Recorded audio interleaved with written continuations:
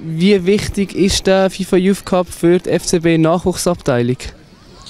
Äh, der, äh, der, der Austausch mit äh, anderen Mannschaften auf internationalem Niveau von anderen Ländern ist sehr, sehr wichtig. Man kann sich messen, man sieht, wo man etwa steht. Und das ist immer ein guter Gradmesser äh, für unsere Jungs.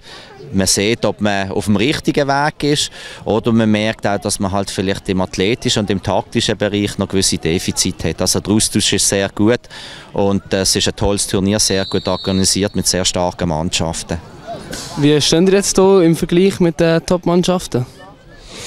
Resultatmäßig könnte man ein bisschen besser dastehen, aber wenn man rein das Spiel analysieren tut, äh, von der Spielanlage her, konstruktiv, die technischen Elemente, gehören wir ganz klar zu den besten Mannschaften, wenn nicht sogar die beste.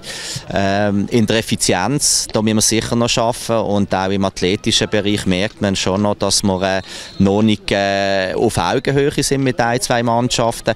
Aber für das schaffen wir ja täglich mit unseren jungen Spielern.